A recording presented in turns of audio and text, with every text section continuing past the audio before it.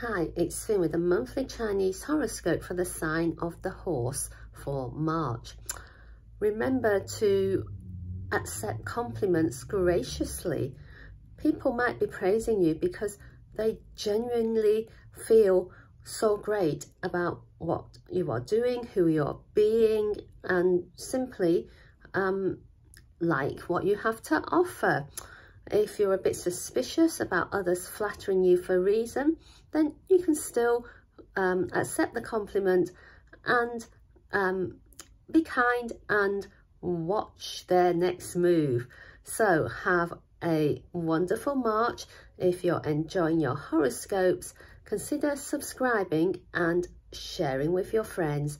Thank you for tuning in to Feng Shui Foon.